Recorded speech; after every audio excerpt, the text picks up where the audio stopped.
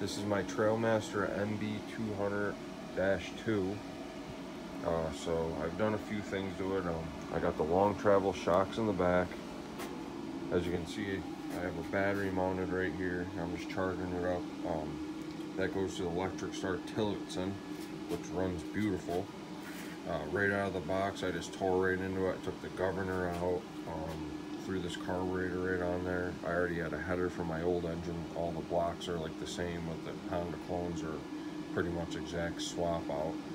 Um, the only thing I had to do with it really was, well, back here was a breather. You get that out of the way. It comes stock on the engine, which I actually got a kit from Go Power Sports. A couple of breathers, you can see them. Um, yeah, it came out real nice. But I really just had to move the solenoid that's the only thing I really had to do to it. And I took off the front panel here with the electric start and the key switch and I moved it up to here. And it actually worked out really nice. I used a stock bolt there. The front end, it looks really tall on this too because I hacked out about two inches in here. It raised the fender up. Just made it look a lot nicer. And then I made my own spacers, which I made another video how I made those. That added three inches in the front end. They bolt right into place. Um, yeah, it's real nice. Uh, it's got a nine tooth sprocket on the jack shaft. I'm gonna have the 60 on the back again. I built one for my buddy, ordered him a sprocket. He sent me the wrong one, so I just took mine off and now I had to wait for another one come for me to use again. but, yep, there she is.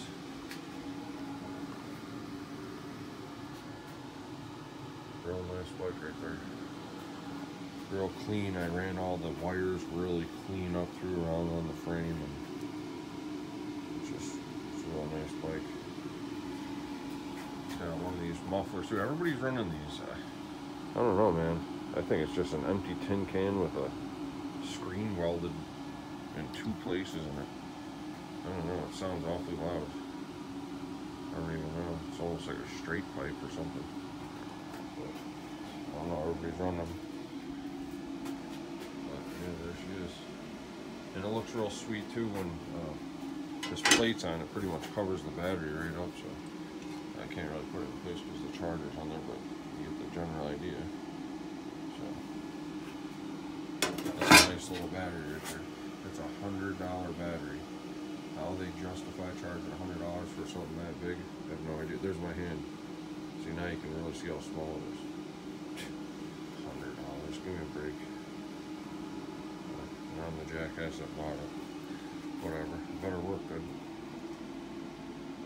Yeah, there she is. Little beast. The reason I raised the front end like that too, I made these pieces, is just because when I put the rear shocks in, the front end sat lower. I just hated it. I was like, it just don't look right. It's nose diving. It's always working against itself. And I also, too, I'm to split these open. If it's anything like a Harley, I'm just to cut a piece of PVC. Whatever spacers in here, you can just cut a piece of PVC and hopefully it'll work. I'm to see. So maybe I'll make a video of doing that too. But yeah, man, there she is. That's beautiful setup. And let me tell you, these carburetors right here, they wake it right up, man. You know, an engine's just an engine. You know, it, it all depends how you feed it here you go. You want throttle response? Let me tell you, it's like a four-wheeler now. It really is.